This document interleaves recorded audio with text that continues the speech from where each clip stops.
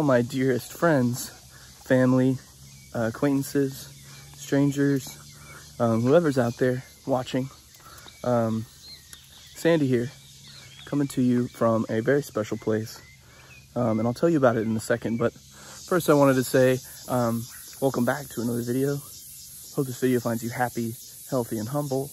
And I'm sorry for anybody who was following for a long time on my channel that it took me so long to um, to post something again. Uh, it's great to be back. I'm in this incredibly gorgeous, beautiful place um, that is known as the Pantanal. Pantanal. I'm not sure I'm saying it right, but um, I'm in the south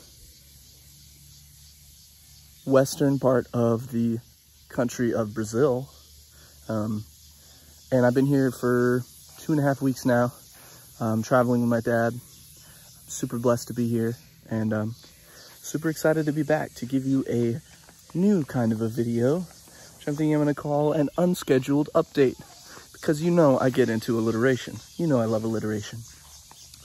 Um, and frankly, the Thoughtful Thursdays were just becoming a little bit repetitive and a lot of weeks I didn't feel like I had much to say or to share. So I stopped for a while. So I'm not going to do something regimented like that anymore. But if I have something to say or something to share, I will keep posting videos here uh, because I enjoy doing this. And um, yeah, I feel like I have stuff to say and, and things to share. So I'm going to try to be better about it. Um, I'm also not going to make it a strict schedule. I'm just going to check in with you all occasionally. Um, so again, I hope you're all doing well. I'm going to keep moving because there's lots of bugs here, as you can probably tell. Um, so yeah, I've been here for three weeks. A, a, lot has happened probably since the last time I checked in with you. And I have a beverage here. Um, my dad made it for me because he is a little uh, too, um, he likes cocktails. So I figured I would have one too. And I'm also going to switch hands because my shoulder is getting tired. Hold on a second. Excuse me. I'd also like to apologize for my relatively disheveled appearance. Though I am in a button up because it's all I have that's clean. Um, I'm letting the beard grow. So it's getting pretty long. Mustache is almost getting into the mouth, which is a problem. But soon it will not be. Um, so as this, with this as my beautiful background, um, I wanted to say hello again if you're a follower or a listener, or if you check in occasionally, I love you. I hope you're doing well. I hope you're caring for yourself. And um, I'm sorry if I left you hanging there for a while. Didn't mean to be doing that, but I also think that, you know, if you got nothing to say, why post? Why force yourself to post? So, unscheduled update, the UU, the two U's instead of the two T's like before and you're never gonna know when I put one out. So you gotta subscribe and then you'll find out. Um, for this video, I wanted to talk about what I talk about so often, um, and that is nature. And this is a perfect setting to discuss it because this is an incredibly beautiful place, incredibly lush landscape. Um, it is, uh, I guess, the largest um, alluvial floodplain in the world, which basically means that it's uh, gets like a lot of it goes underwater um, half the year. Right now we're in the dry season, so it hasn't rained much. It did rain one time the first night we got here.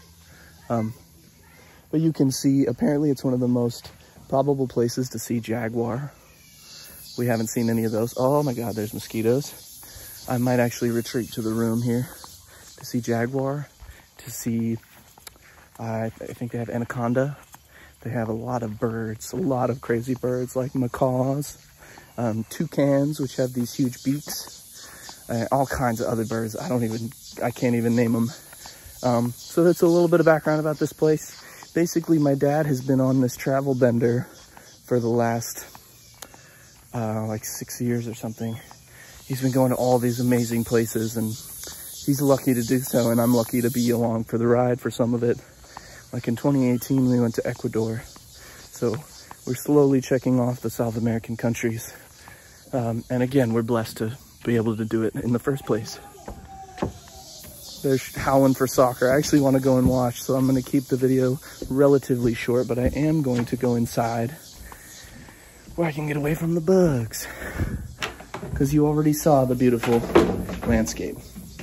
Um, and of course it's locked. Just give me a second on that.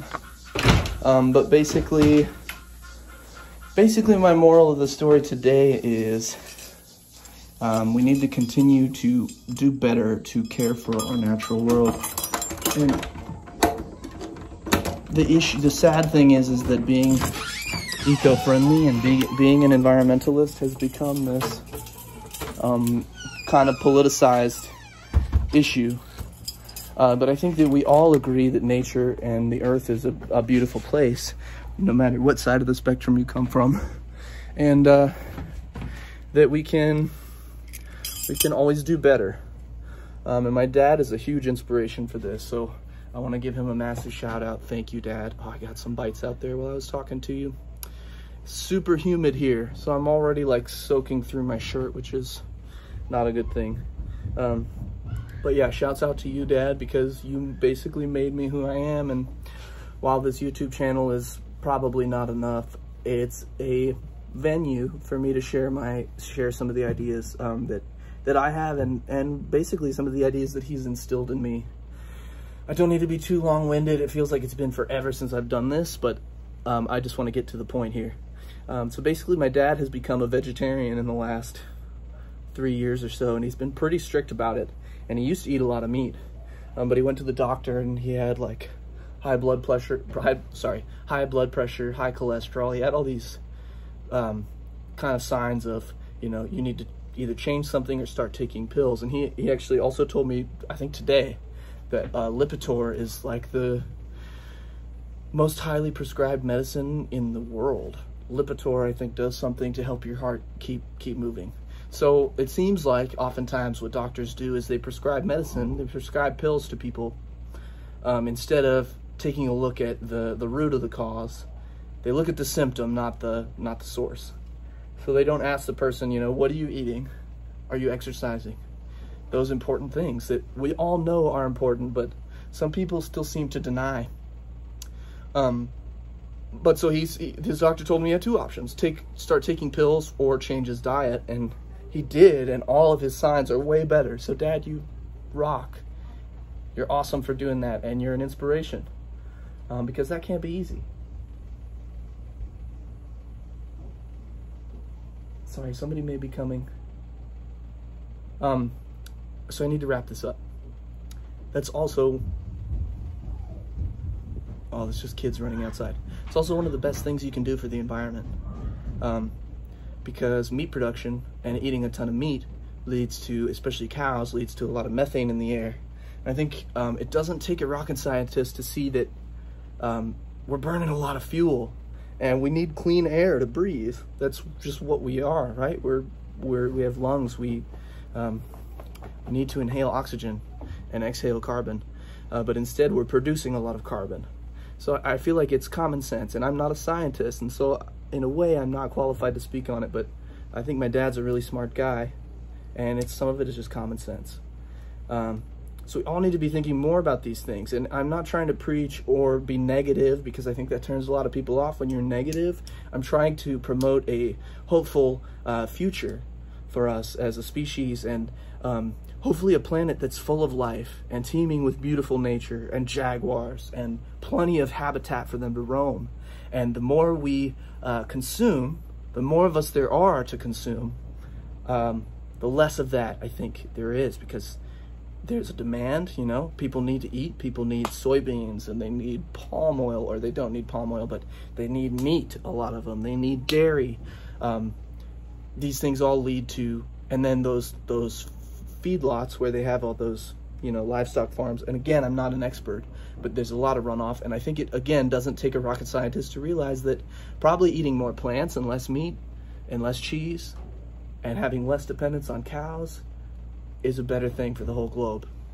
Um, and again, it's a political issue being an environmentalist, but it shouldn't be because I think we're all fascinated by wild nature. We all think it's awesome to be able to go see a jaguar in the jungle. I mean, how how badass is that?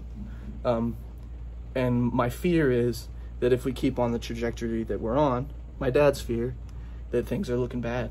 The oceans are not looking good either.